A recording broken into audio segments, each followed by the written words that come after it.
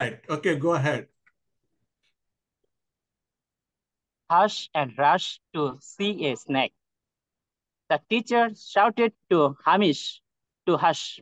Poor little fellow shut up with a sad blush. He felt so much shame, so never to do the same. But he wasn't coming back to class in a rush. A snake swooped on a Swiss store with a hiss. Stock shoppers dreading in a deathly kiss. How shambolic and shocking to see such stealing and snatching, a senseless and to what once was sheer bliss.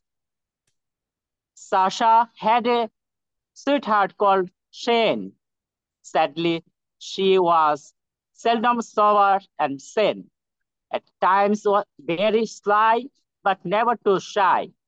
It was a union that simply couldn't sustain. And Ozzy from Tazy had so many sheep to shear, he would seek with sneer, slashing with a spear, with a lash he could thrash, smoothly showing any backlash. Sharp as a shark, he could be chewy and severe. Okay. Thank you. Thank you. Good. You got it this time. You'll need more practice. Okay. All right. Now, Okay, sir. uh, Bulbul, Bul, wait, wait. I have to uh,